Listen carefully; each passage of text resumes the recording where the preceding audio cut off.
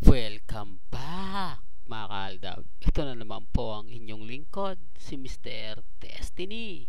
At magbibigay na naman po tayo ng pinakamainit na update po ngayon sa social media. Ito po yung mga desperadong galawan mga kaaldab na talagang mapapaisip ka kung bakit nga po ba nila to ginagawa, kung ano nga po ba ang purpose nila at ginagawa po nila to mga kaaldab. Sa mga dumadaan sa channel ko, sa mga bumibisita, lalong lalo nang po sa mga bitter sa Aldab.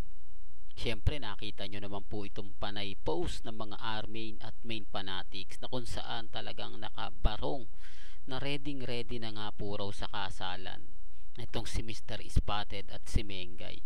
Ito yung sinasabi ko, pinipredict nila agad-agad mga kaaldab. Tapos babasagin sila ni Ibyang, sasabihin ni Ibyang na um, wala, wala pa, hindi pa namin, hindi ko, wala pa silang sinasabi sa bagay na yan kumbaga hello nanay ako di po ba? Yun yung tipong ganun na sila o oh, kumbaga binabasag na nga po sila pero kumbaga ginagawa pa rin po nila. Gaya ngayon mga kaaldab magpapakalat sila ng napakaraming photos. Nakapangkasal si Mr. Spotted. Pagkatapos mga kaaldab ipapakalat naman po nila na bising busy nga po raw sa si Maine Polkerson na magpas- mag-seminar sa pare dahil ikakasal na nga po sila ni Mr. Spotted. Ito common sense na lang po ah.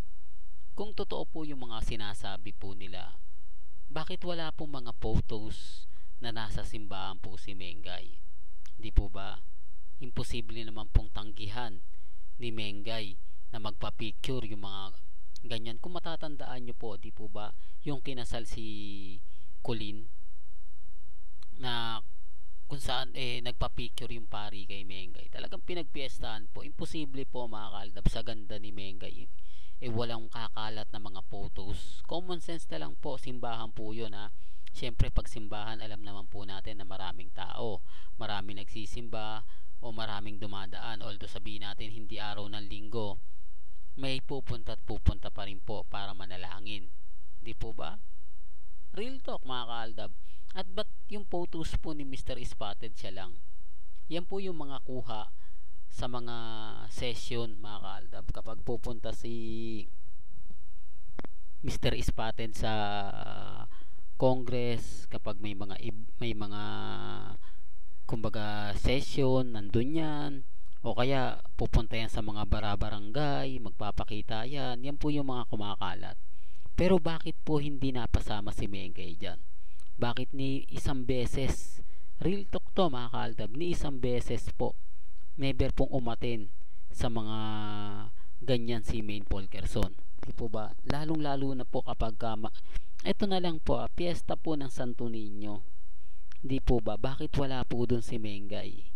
Real talk kaya nga po natatawa na lang ako dito sa mga nagre-react eh. Na kumbaga ano daw po yung dalawa. Wala eh, nababaling po kasi ngayon yung atensyon ng mga netizen sa issue po kay Alex, sa issue po kay Ria. Di po ba? Nakikisawsaw lang po yung Armain at ginagamit naman po si Mengay para kumbaga makuha rin po yung simpatya ng mga nagte-trending at nagba-viral. Yan po yung galawan o taktika na wala po talaga. Taktika na masasabi natin na ginagawa lang po nila pang sarili. Di po ba? Kaya nga po ako natatawa na lang po dun sa mga nagre-react sa mga nagko-komento pero normal lang po yan. Alam nyo naman po pagdating sa social media maraming mga kaganapan. Maraming masasabi natin ganito masasabi natin ganyan. Di po ba? Bilang true-blooded Aldab Nation gusto ko maging updated po kayo. Gusto ko lahat ng mga kaganapan eh alam po ninyo. Gaya nga po ngayon medyo maraming uma maraming nagre-react maraming nagko-komento. At eto pa po ah pinakamainit po ito. Talagang viral at trending po. Lalo na po sa mga Alden fanatics na post. Pabor na pabor po sila. Talagang nakikipiesta po sila. Na ang uunahin nga po raw ni Boy Abunda ay si Richard Polkerson Jr. na Ito'y isa rin po sa mga kumakalat ngayon na nakakagulat nga po mga kaaldab na nakakawindang na pinagsasabi po nila na kumbaga dapat nga po eh o ito nga po daw dapat talaga si uunahin po ni Boy Abunda si Marian, di po ba? Tapos si Bea, tapos si Alden, si Glyza at pagkatapos nga po si Paulo. Nag-iba nag-iba na po yung ano ng GMA. Ang nangunguna na po na i-interviewin si Alden Richards, si Bea at pumangatlo na nga po si Marian Rivera. Bakit? Real talk mga kaaldab. Ito ay baka sabihin na naman ng iba. Nako Mr. Destiny, gumagawa ka na naman ng mga edited picture. Edited post. Ito ay galing din po mismo sa mga Alden fanatics, sa mga post ng mga Alden fanatics. So, sino nga po ba yung fake news?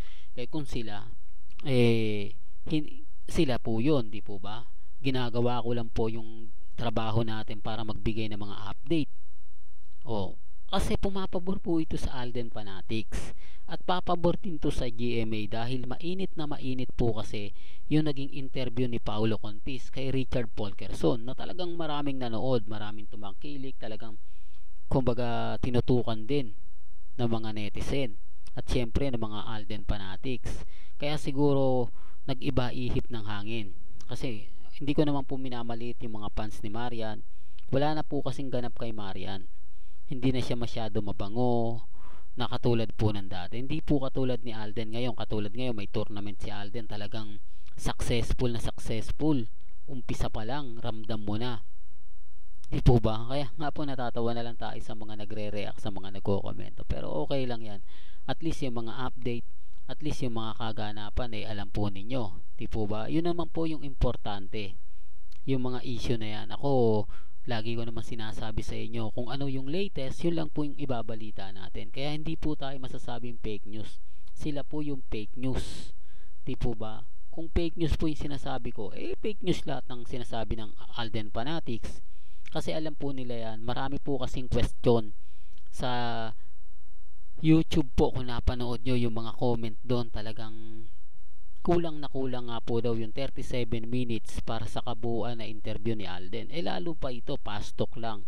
Pero mas critical nga po raw yung mga tanong dito na sinasuggest ng mga Alden fanatics. Alam mo, at hindi naman po to totally Alden fanatics. Ito po yung mga blue hearts na may hidden desire kay Richard Polkerson sila po yung nagpo-push na sabihin na ni, Meng, ni Alden na wala silang relasyon ni Mengay, hindi sila kasal, walang baby Teo, love team lang po sila. Yun po yung gustong sabihin ng mga Blue Hearts na tanong, itanong nga po raw kay Boy Abunda. Pero siyempre mga kaldab, masakit man ang mabasa natin, masakit man mapanood natin, kill-kill lang tayo.